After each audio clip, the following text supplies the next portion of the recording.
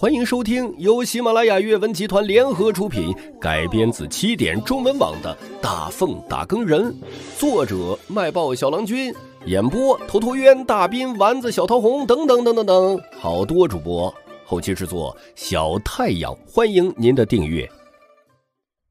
第四百九十七集收徒。王府。密切关注此案的王思慕，通过自己经营的渠道打听到了今日发生在朝堂的激烈争锋，以及午门的那首讽刺诗。我就知道，许慧媛才华无双，怎么可能科举舞弊？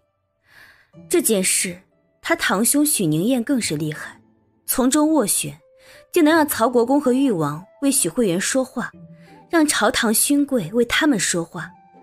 这份人脉关系。不同寻常，最让我惊喜的是，魏渊没有出手，至始至终他都袖手旁观。如此一来，徐慧媛就不会被打上阉党的烙印，这对他来说是影响深远的好事。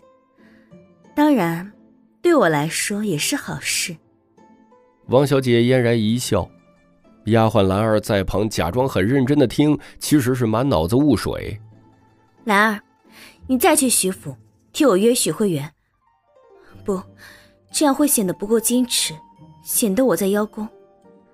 王小姐摇头，打消了念头，心想着：这个时候沉默反而能凸显我的气度和格局。如果迫不及待的前去邀功，反而会让许家那位主母小觑吧。聪明人之间不需要把事做得太明显，心照不宣便好。司天监，杨千焕经过七楼炼丹房时，听见里头的师弟们在讨论早朝发生的事儿。他原本对这些朝堂之事不屑一顾，懒得去听。但听见许宁燕三个字儿，杨千焕脚步停下来，本能告诉他，或许又是一个知识点增加的机会。许公子那首诗简直大快人心，我觉得堪称千古第一讽刺诗。瞧你说的，过于夸张。不过也确实很爽，尤其当着文武百官的面，堵在午门里，这么来一句诗，什么诗？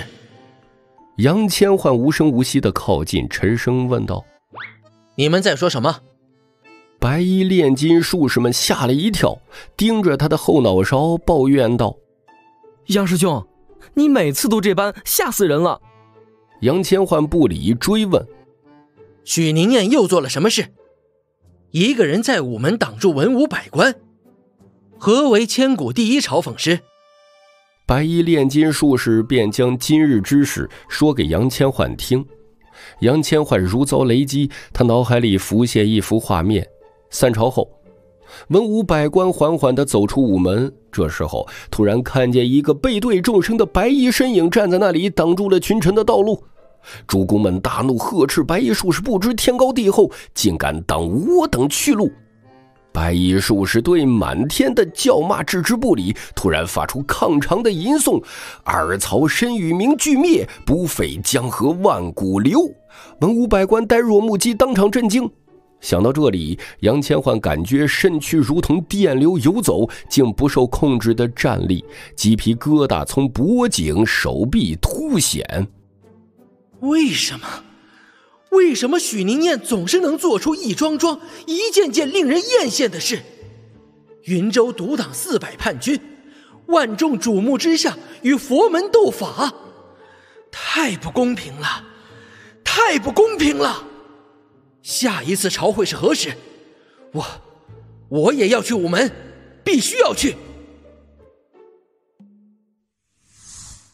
午后。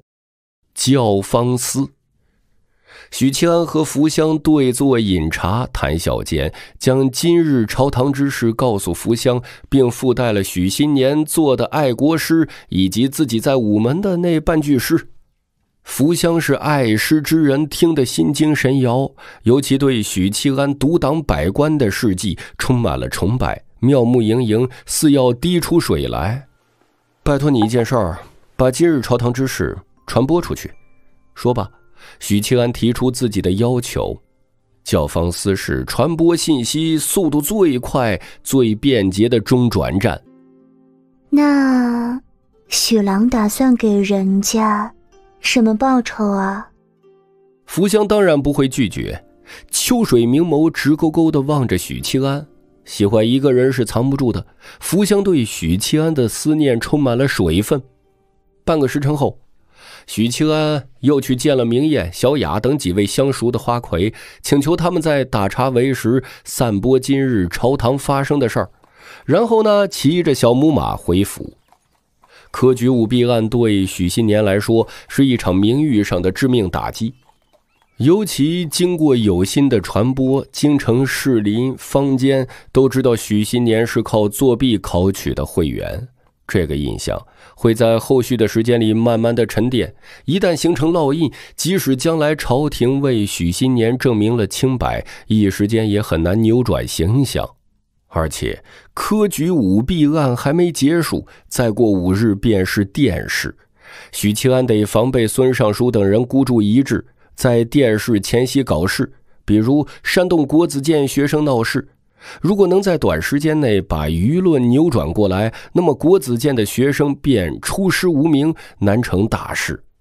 当所有人都知道许新年被冤枉的，你即使假装视而不见，也得不到大众的认可和支持。古人不管是打战还是谋事，都很注重师出有名。誉王那里的人情是用掉了，也不亏。幸好誉王早已无心争名夺利，否则未必会替我出头。曹国公那边我许诺的利益还没给，以公爵和镇北王副将的势力，我出尔反尔，必遭反噬。镇北王大概率不知道此事，是副将和曹国公的谋划。不过我只是个小银罗，即使镇北王知道了，也不会怪罪副将。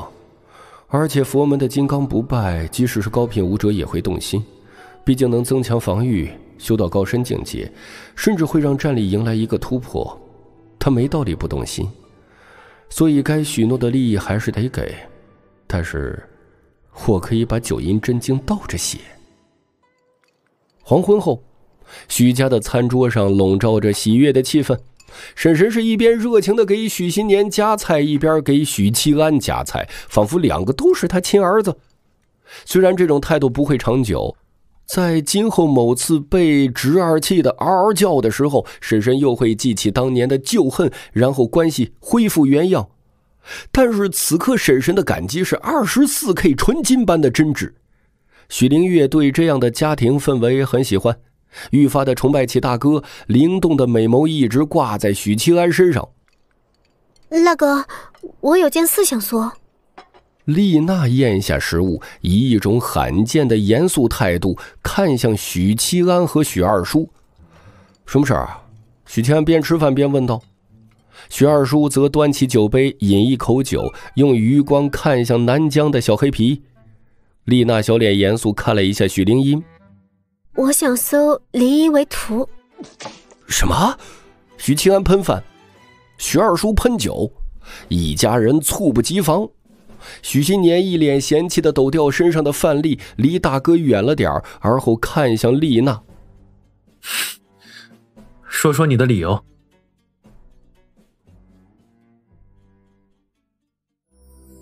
本集已经播讲完毕，感谢您的收听。